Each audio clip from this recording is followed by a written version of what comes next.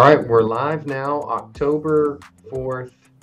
Wilson here with Amy Deer and Lloyd Mahoney. Bob is out of town. Bob is at the IEDC, the International Economic Development Council, their annual conference. Uh, he's in Nashville this week. Poor guy is just in Nashville going to class all day and doing conference stuff. So, Empower Local, that was our scavenger hunt uh, that we did the last year. And before that, I think we just called it the Shop Local campaign. But when COVID hit, we started calling it the Empower Local program. So uh, we're doing a scavenger hunt, kind of like we did last year with the QR codes. And when you go find a business and you can uh, tell people that you found them and be entered into some drawings. So more to come on that. We're doing some planning for that. Uh, and then also on Friday, Amy's got this one. Um, yes, the executive committee is going to be working on coming up with some individuals to nominate. We have five positions that will be opening up. And so they're going to be doing some, you know, great meeting of the minds and getting some nominations selected for those positions to be filled. Yep, our board of directors, one of our most important committees, I think, is is that nominating committee. So they're like you said, Amy, I think the meeting of the minds, I think was an excellent way to put it of uh, brainstorming some people who are passionate about this community and this chamber and everything that we're doing here. So, uh, and then Lloyd, we got a big week next week. We do. Uh, we've been a little slow on ribbon cuttings and uh, events. Our ambassadors love events and they always uh, enjoy all the things that we put on ribbon cuttings, groundbreakings, um, business after hours. We have three back to back to back next week. They'll uh, start with uh, Casey Scribner, State Farm Insurance on Monday. Second day, Tuesday, will be uh, Mad Max Welding. He's out there on Firehouse Lane, south on 7 at 206. And then the third day, which will be Wednesday, is uh, Buffalo Chateau. It's RLO Rentals, uh, Roger Orr's party entertainment service. It's a blue painted building on the square. So we're excited to kind of see what all three of these guys will do. Casey's new to the community. Mad Max has been here for a while and has a successful business. And then uh, Roger Orr's uh, Buffalo Chateau is new to the area too. So we're excited to get back in the groove on doing the ribbon cuttings and uh, get all the ambassadors together. And toward the end of the month, Southern Airways is planning a business after hours, which is always exciting. As I understand it, passengers will be flying in from Dallas uh, during that event. So we'll get to welcome some folks coming into the airport about the time we're doing the business after hours. Pretty cool, pretty neat. I look forward. Yeah, they always put on a, a, good event. They had some they had some ticket giveaways a couple years ago and a band out there on the runway and a whole bunch of stuff. So they they do it up right. That's a lot of fun. They do. All right, and this week's guest is Chonda Tapley. Chonda, it's actually a while back. We recorded this a while back, but she just was returning from the Community Development Institute, learning basically basically doing some of the same stuff that we're doing here. Okay. It's similar to economic development. It's kind of another take on it of community development, um, and a lot of chamber leaders go to that. Economic developers go to that utility companies go to that, mayors and municipality leaders go to that. Uh, really great networking. Maybe I, maybe I should just quit talking about it and just play the interview and let her tell you about it. That's fantastic. Go Chonda. Yeah, go Chonda.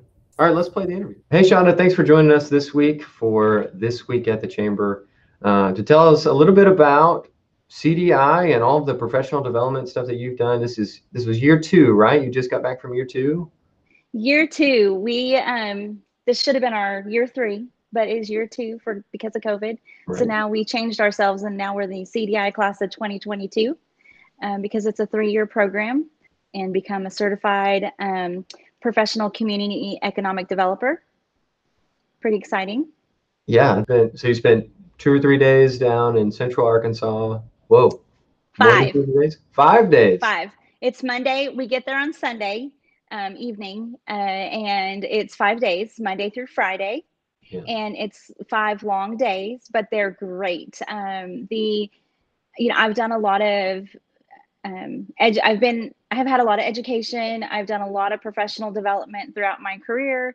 And I've honestly, um, you know, I'm really close with my housing friends and we have a lot of bonds, but the bonds that are established in CDI so quickly is amazing. And so, um, you kind of you look forward to seeing your class again. And we were all very sad that we didn't see each other last year because you work on things together. You know you do team building projects. Um, and eventually at the end what you do is your goal if you want to do the advanced year after the third year is to help a community um, and with their help, help a community or a city with their community and economic development you know we were talking off the air just a minute ago about um, all the people who are investing in professional development kind of in our area of the community and economic development mission or mindset and what it looks like to invest back in your community and um, th- is that pretty standard that were there other people like from other housing authorities there or was it?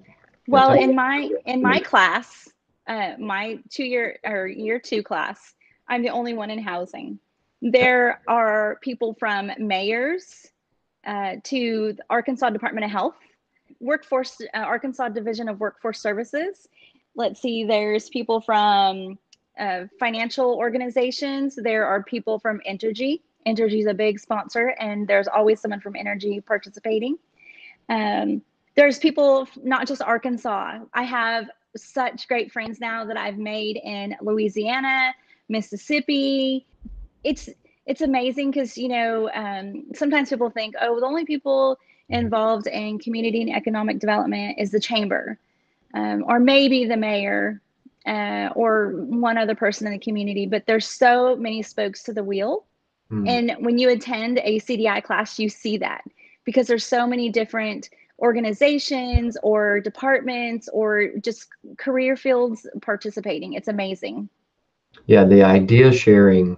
I would I would absolutely agree. Just in my, uh, I think about a year and a half, coming up on two years for me in the at the chamber here, and uh, focusing more on some of the economic development stuff of of the people you meet and the conversations you have are some of the most valuable thing. I mean, it's not necessarily the presenters that you hear, the notes that you take, but it's the conversations that happen after of like, hey, mm-hmm. how are y'all applying that in your community? And you know, some people we reference, you know, Fayetteville, Northwest Arkansas area, and we reference Jonesboro or Conway or Little Rock and what they're doing. And people say, well, we're not them, so don't compare us to them. And it's you mentioned like it's it's not necessarily that it's a comparison or we want to take that but there are bits and pieces of what they're doing that work for them for a reason. And it's going to be able to translate to us even if we're a vastly smaller population and different lifestyle. There are pizza pieces of it that are going to work so yeah absolutely we it's the bonding and it's the as you said you know there's a lot of great information from from mm. the presenters but it is definitely the bonding um, when we spend time together during breaks, during lunch, after, in the evening, um, and talk just about our lives, about our communities. There's so much community discussion. It's unbelievable.